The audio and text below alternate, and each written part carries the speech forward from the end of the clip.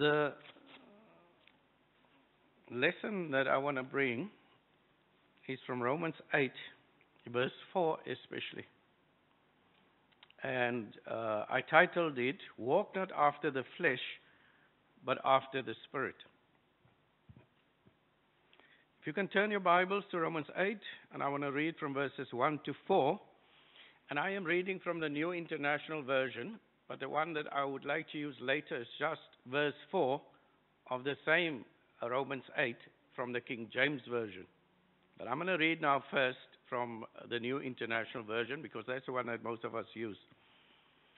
Therefore, there is now no condemnation for those who are in Christ Jesus because through Christ Jesus, the law of the Spirit of life set me free from the law of sin and death. For what the law was powerless to do, in that it was weakened by the sinful nature, God did by sending his own Son in the likeness of sinful man to be a sin offering. And so he condemned sin in sinful man in order that the righteous requirements of the law might be fully met in us, who do not live according to the sinful nature, but according to the Spirit. Now, verse 4 of the King James Version reads the following That the righteousness of the law might be fulfilled in us who walk not after the flesh, but after the Spirit. When I read those words and I thought a little bit about those words, I realized that some time I wanted to bring a lesson about this. Because this, this word walk, meaning purposefully doing something to reach a particular goal. What is the end that we want to reach in that walking after? It means there are actually two things. The spirit on the one side and the flesh on the other side. The holiness of the spirit and the sins of the flesh. Two opposite poles. As we have a north pole and we have a south pole.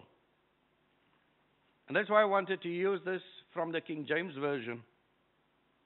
Because it's so important that we realize what it is that we ought to be doing every single day of our lives. That we should be purposing that which we do in having had a forethought about what it is that we are going to do. And the forethought is that we shall walk after the Spirit today, tonight, and again tomorrow and the day after. And that is the real purpose, or part of the purpose of being a Christian. I want to bring it into relation to what we in the medical world talk about when we talk about walk. We use another word called gait. And I teach the third year medical students whenever I get them because that's when they're really fresh. They're now some fifth years here. But then when they start doing the real clinical work in their third year, and I get them, I say, and they need to talk to this patient, and they are taught to say good morning, wash their hands, how are you, sir, what, what is your name, and you know, the meet and greet. I call it the meet and greet. And then I always want to just jump into whatever it is that they're supposed to do. And I say, no, no, no, let's just take a step back. What was the first thing that you were supposed to have observed? And they struggle with that one. And I would say it is when the patient enters that, that room, at that door, you should be already observing the gait, the walk. Why? You'd see this is an acute person who's acutely ill. This is a person who's chronically ill. This one has a hip problem, or this one has a knee problem, or he has a back problem. It already solves a lot of issues for you. This is an old man. This is, walks like an old man. This is an old man like me walks like a young man. Um, so, you know, observe, gait, walk. So why would this verse 4 say, walk after the flesh, after the spirit, and not after the flesh? And I used hypothetically a girl called Mary. So Mary is born the little baby, and everybody's happy, and videos are taken, and it goes over Twitter and over um, YouTube also? I don't know. Uh, probably not. Fla- yeah, Facebook, etc. All the photos of Mary. And then Mary reaches an important milestone. She's one day she gets up and she's onto these two little feet and those legs, and she stands by the chair, and the cameras flash. Wow. Mary's just started walking. And then it goes out on Facebook again and on WhatsApp, etc. Why is that such an important moment?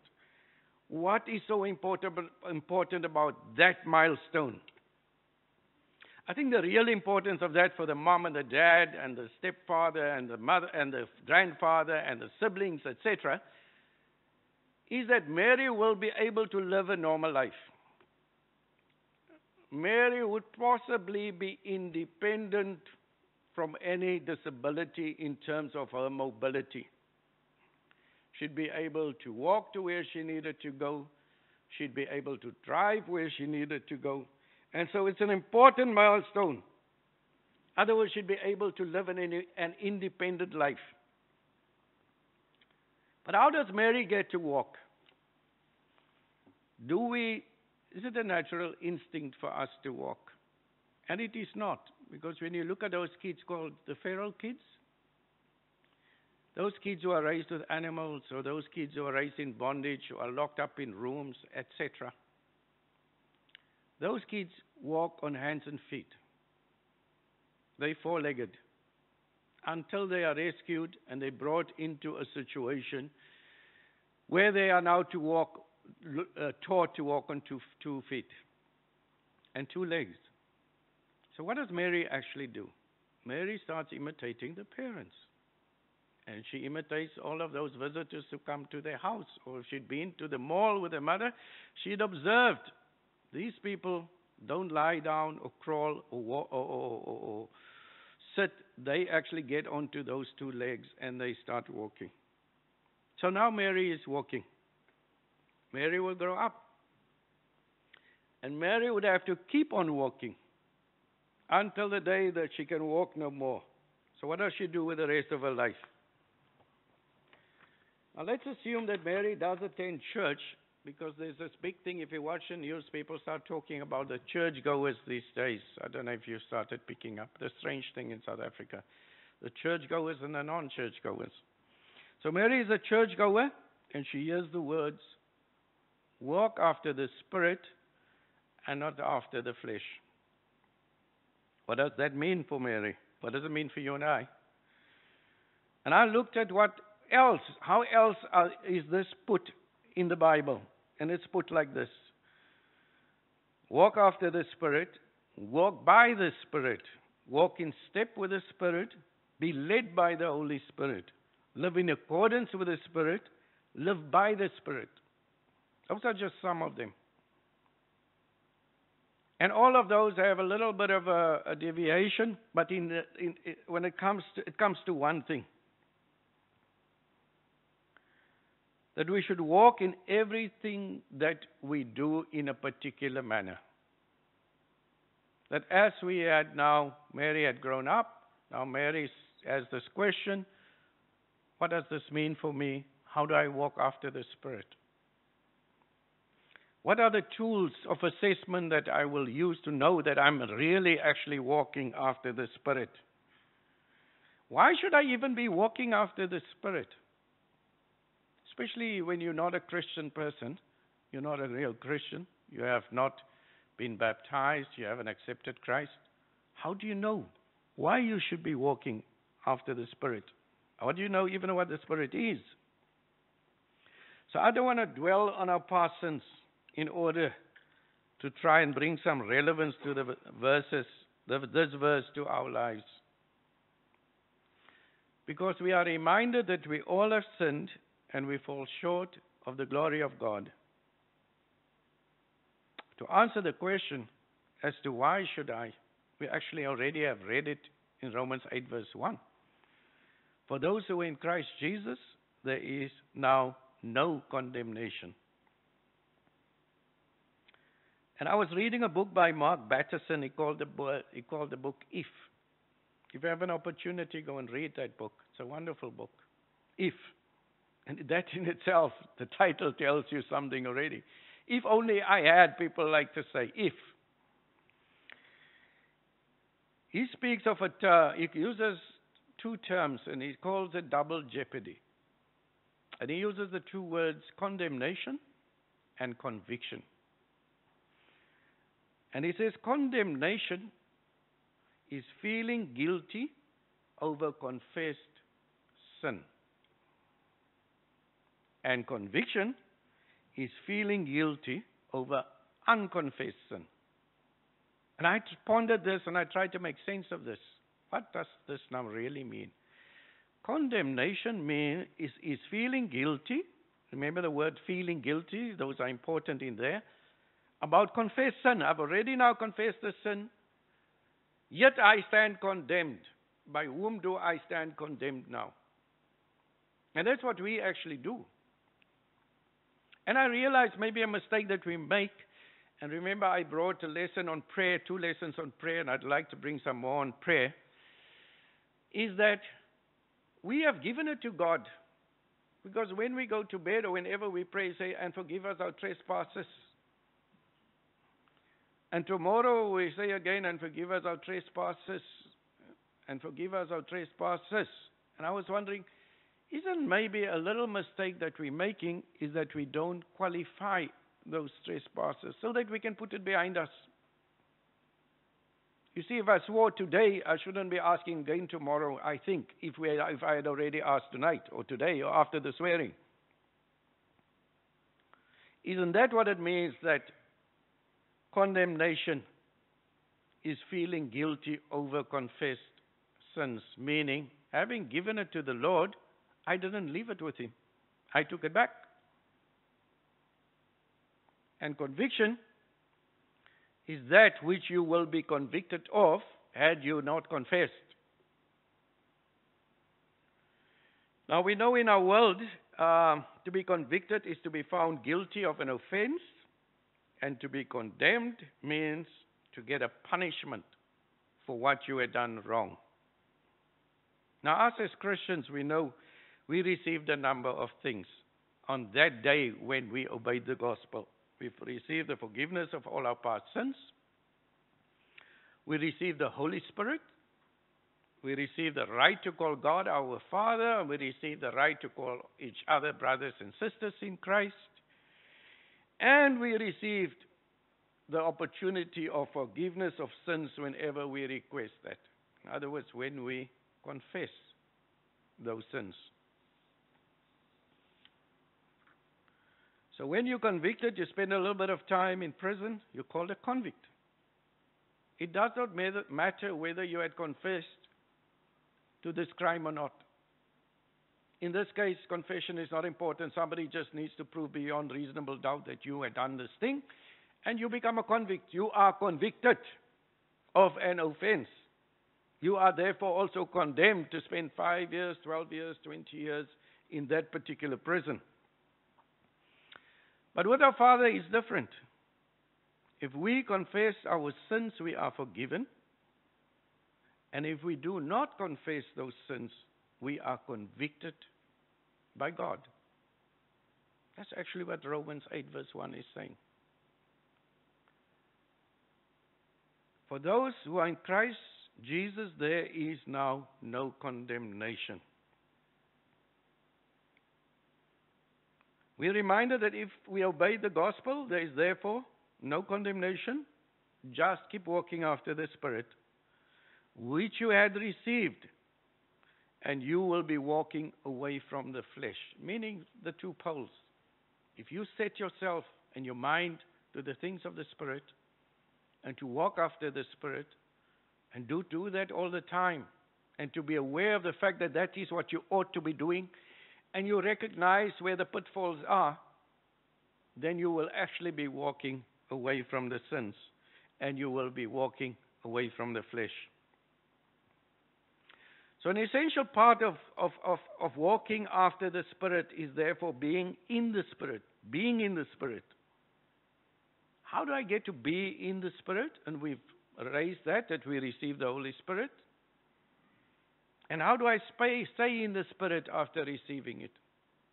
because we can receive it and we cannot utilize it. We don't even recognize it for what it really is. And that in itself, my testimony is it comes at really at some stage it does dawn upon one fully. And unfortunately, I, I am of the view it happens a, a bit later in one's life. Where you come to the full realization of what it is to be in the Spirit or to have the Spirit. It takes time. And some people are never afforded that time. They never afforded that opportunity to get to that point in their lives because they're taken away too early to really experience that. So, as a Christian, it's a wonderful thing to experience the knowledge of being in the Spirit.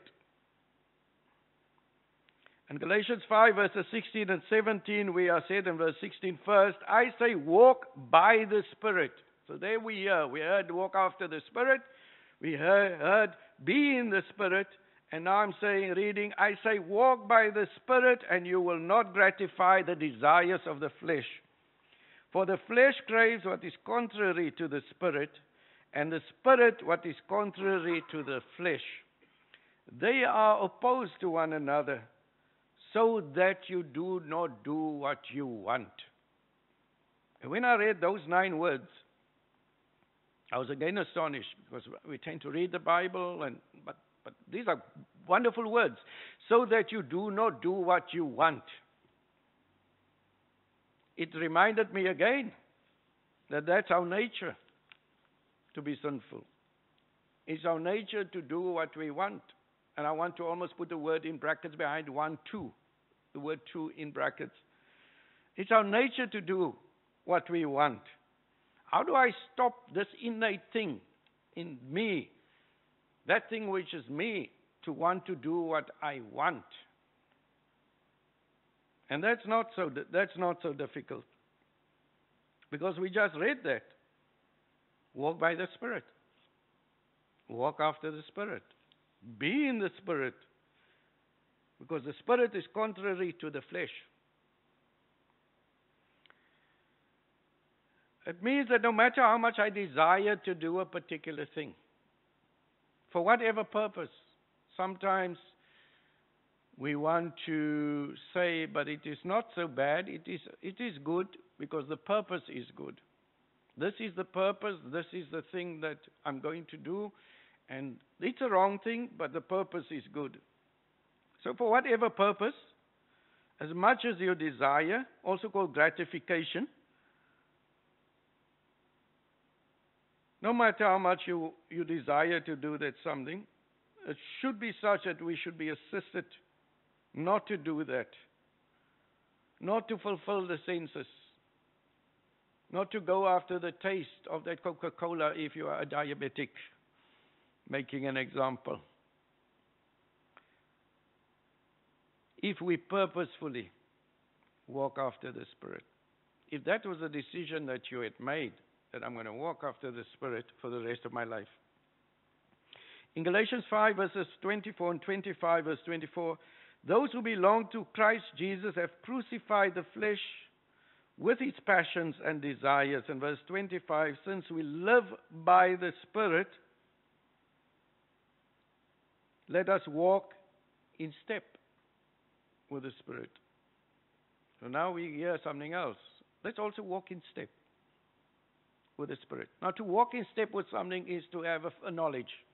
You can't walk in step with something that you have no knowledge of. You go, you join the army, then I first teach you to march, so that all of you can walk in step. You've got to have the knowledge of what that in step is all about. Can't put 50 people together, right? Walk in step. Tension. It's not going to work. Training. Foreknowledge. To walk in step with the Spirit. So just as Mary started walking in imitation of the steps of the parents, we should imitate the steps of Jesus himself after our baptismal and walk in step with the Spirit. We're living in a, in a, in a troubled world, and it's very frightening even for us as believers. If we're honest, yes, we have the faith, but we're also frightened. Things are difficult. We desire that grace may obtain full and speedy victory in the knowledge that as we give ourselves up to be led by the Holy Spirit, we are not under the law as a covenant of works. That's what Romans is also about. We're not under the law as a covenant of works. But also, the positive part is in doing that, our hatred of sin and our desire for holiness show that we are participating in the salvation of the gospel.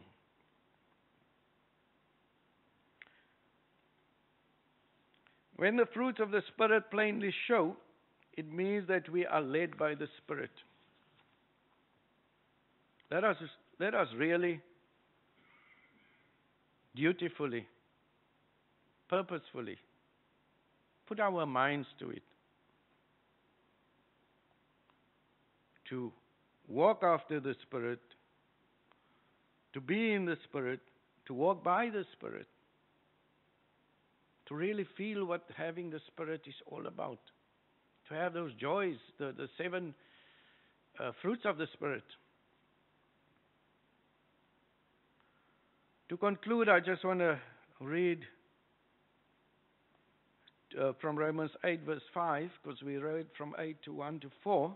And verse 5 says, Those who live according to the flesh have their mind set on what the flesh desires. But those who live in accordance with the Spirit have their mind set on what the Spirit desires. Set ourselves by our minds in earnesty to mortify the deeds of the body, to walk in newness of life. Do not be desirous of vainglory or unduly wishing for the esteem and applause of men not provoking or envying one another, but seeking to bring forth more abundantly those good fruits which are through Jesus Christ to the praise and glory of God. Romans 8, verses 9 to 10 says, again, the New King James Version, but you are not in the flesh, but in the Spirit. If indeed the Spirit of God dwells in you. Listen to that sentence. But you are not in the flesh, but in the Spirit, if indeed the Spirit of God dwells in you. Now, if anyone does not have the Spirit of Christ, he is not his. And if Christ is in you, the body is dead because of sin, but the Spirit is life because of righteousness. The works of the flesh are many and manifest. And those sins will shut men out of heaven. And my last sentence, I think, is a very important sentence to take home. Christ never owned those who yield themselves up to be the servants of sin. Thank you, church.